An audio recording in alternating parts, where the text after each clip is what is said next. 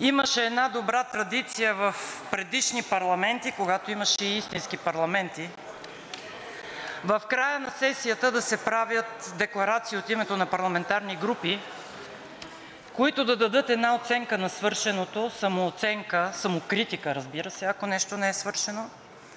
Ние от „БСП за България“ се придържаме към тази традиция и в този смисъл ще говоря днес пред Вас, защото днес приключва първата сесия на 49-ото народно събрание. Три много динамични месеца след пет избора и след политическа криза България има редовно правителство и работещ парламент. Какво се случи през това време?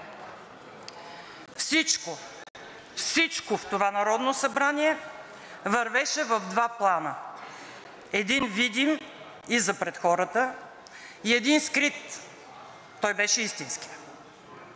Видимият – декларации за промяна, за стабилност, за доброто на България. Скритият – подмяна, нестабилност и в повечето случаи в ущърб на българския национален интерес.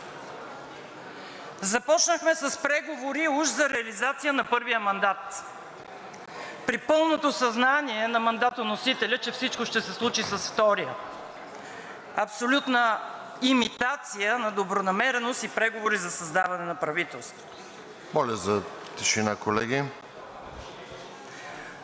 Хора, които се кълняха, че ще си отрежат ръцете, ако се съберат с политическия си опонент, едноръките джентълмени, партии на взаимното отрицание, стигнаха до здрава прегръдка.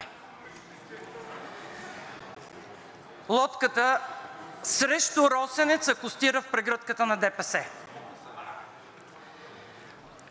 Борбата за изчегъртване на ГЕРБ и от ареста на Бойко Борисов стигна до неговата реабилитация политическа и избягване от наказателна отговорност благодарение на изчегъртвачите до този момент – ПП и ДБ. Тръгнахме с плаващи мнозинства, което беше нестабилност и несигурност, и стигнахте след два месеца и половина до трайна, стабилна, сигурна коалиция ГЕРБ-СДС, ПП, ДБ, ДПС. Уж се направи съдебна реформа, уж за справедливост. Какво постигна като резултат? Видяхме абсолютно контролируеми и непочтени членове на ВСС, които могат да си сменят мнението за 24 часа два пъти. Това, което постигнахте – отстраняването на един главен прокурор, избор на нов, няколко висящи спора, спасяване на Бойко Борисов от Барселонагейт, а на Кирил Петков от наказателно преследване за нарушаване на Конституцията. Дотук това е ефектът от съдебната реформа. Уж трябваше да се борите за бързо влизане в еврозоната. Един от въпросите, който трябваше да се реши, е за БНБ, а реално овладяхте БНБ с политически назначения. Единствената сериозно независима институция досега вече стана тежко политическо зависима. Уж трябваше да въведете диалог, успокояване, демокрация, стигнахте до пълно отрицание на опозицията, оставихте опозицията без комисии, без съгласуване на дневен ред, без право да говорят – точно обратното на декларираното. Уж законност и уважение към парламента, никакво, никакво зачитане на законите и правилата. Приемахте закони на две четения в едно заседание, нарушавахте Правилника за работа на Народното събрание, дадохте основания за обжалване в Конституционния съд на много от текстовете, които приехте. Уж да се сложат регулаторите в ред, а всъщност разправия за постове – ти на мене, аз на тебе. Обявихте избор, прекратихте го, пак започнахте избор, докато се намери работа на подходящия и послушен човек, който да изпълнява политически поръчки, а не да оглавява независими регулатори. Ще отворя една скоба. Уважаеми български граждани, нощес по време на гледането на бюджета ГЕРБ дадоха почивка, защото трябваше да се го договорят за едно назначение с ПП-ДБ. И добре, така са решили, така са направили. Но част от сговора е било: ще Ви подкрепим бюджета, ако ни назначите човека.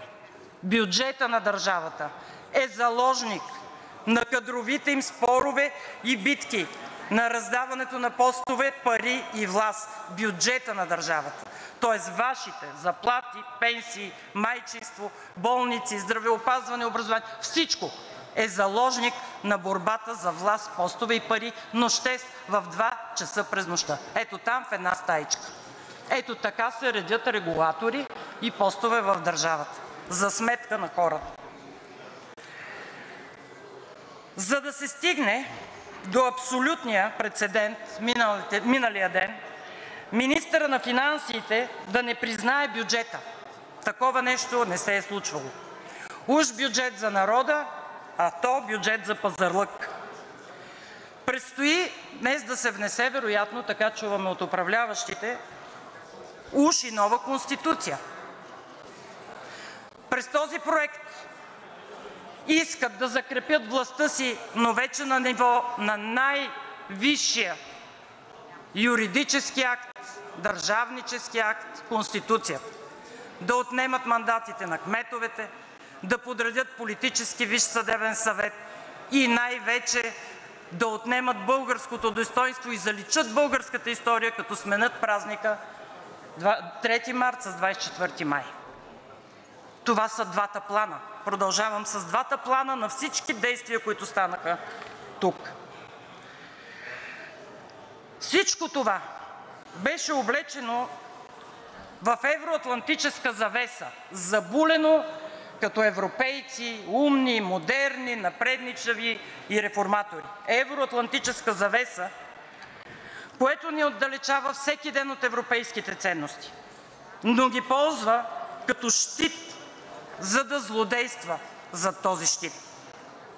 Ползва ги вече на ръба на риска да вкарат България във война, уж защитавайки ни, предприемайки действия за опразване на складовете на Българската армия. Без прозрачност, без знание какво се дава, кога се дава, защо се дава, газейки международното право и непризнавайки Международната конвенция от Монтреал, газейки международното право и непризнавайки Конвенцията, която забранява 120 държави света са я подписали използването на касетъчни бомби. Нищо не ги интересува! За властта, парите и зад евроатлантическата завеса ще продадат и предадат всичко. За три месеца се свърши това. Евроатлантическият параван им служи като оправдание за погазване на националния интерес на България, без да се съобразяват с реалностите.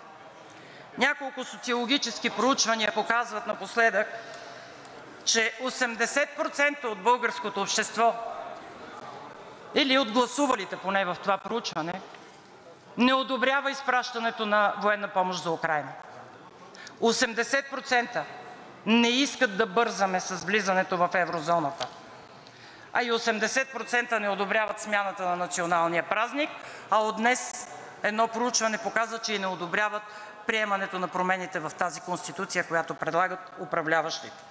И какво се получава, уважаеми българи? 80% от Вас не искат това, което правят управляващите. 20% го искат. Виждате ли парадокса? Малцинството – 20%, и мнозинството в парламента. Това мнозинство не представлява мнозинството от българския народ. Представлява ги на хартия като гласове. Друг е въпросът как са ги взели тези гласове но не представлява истинската и реална воля на българския народ по ключови въпроси за националния интерес и за живота на всеки български гражданин. За три месеца ни върнахте три години назад, а искате през промяната в Конституцията да закрепите управлението си за 30 напред. Защо казвам, че ни върнахте назад? България исторически направи един кръг и се върна в изходна точка. исторически към 2020 година. Спомняте ли си, с част от Вас бяхме по площадите тук в средата на залата, с хиляди хора срещу модела ГЕРБ. Три загубени години за България. Върнахте го с пълна сила, с двойна сила. Не с 200, с 400 го върнахте. Къде изчезна господин Борисов? Защото той с 200 ги решава някои въпроси. Вие ги решихте с 400. Три загубени години за България. Възстановяване на модела. Онзи модел на задкулисията, на паралелната държава, на сглобката, на която Вие станахте основен носител. Ето това се случи за три месеца. А как можеше да бъде? Можеше да бъде съвсем различно. Можеше да има национално отговорно правителство – не политическо и не партийно, с програма от 10 точки. Все още нямате Вие програма, предварителна програма, с подкрепа от всички ни за излизането на България от кризата, с визионерство, с реформаторство, с промени в ключови системи за българския живот – демография, образование, здравеопазване, икономика. Можеше, но тогава нямаше да има наместване на интереси, сглобка, ала-бала и така нататък. Тогава щеше да има България. Нямаше да има партийни интереси, лични имунитети, бягане от наказателна отговорност и възстановяване на модела Борисов. През цялото това време, тези три месеца, ние останахме последователни, принципни, каквито сме били в последните години, защото Вие се борихте срещу Борисов два месеца, ние – 10 години, и сме единствените, които оставаме на тази позиция. Срещу модела Борисов, не персонално срещу Борисов. Не влязохме в сглобката, внесохме онези законопроекти, които са важни за България и за българските граждани. Отхвърлихте всичко – Ваша воля, днес имате мнозинство, но скоро ще се чуе волята на народа, защото е висшата и защото то е мнозинството в България.